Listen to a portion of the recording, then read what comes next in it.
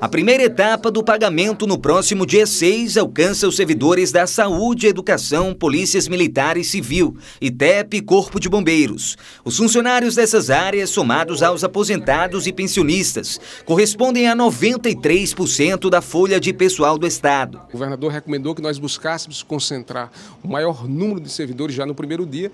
Dia 6, na sexta-feira, estarão recebendo 93 mil servidores, 92 mil alguma coisa servidores, que representam 90 93% de todos os servidores do Estado. Na segunda-feira, dia 9, é a vez dos funcionários das pastas de administração, gabinete civil, consultoria, procuradoria, comunicação, controladoria, vice-governadoria, planejamento, tributação, agricultura e pesca, desenvolvimento econômico, infraestrutura, trabalho, habitação e assistência social, recursos hídricos, turismo, assuntos fundiários e esporte e lazer.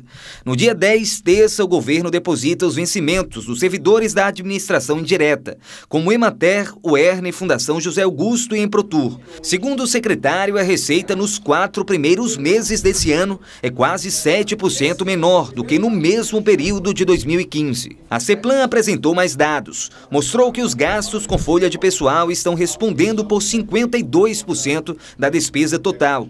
O número está acima do limite legal da Lei de Responsabilidade Fiscal. Como esse índice é uma relação entre despesa pessoal pessoal frente receita corrente líquida e a receita do Estado cai brutalmente, dos estados brasileiros e dos municípios têm caído é, fortemente, é natural que esse, que esse índice cresça. Ainda que no último quadrimestre nosso índice, nosso percentual foi menor do que o quadrimestre anterior.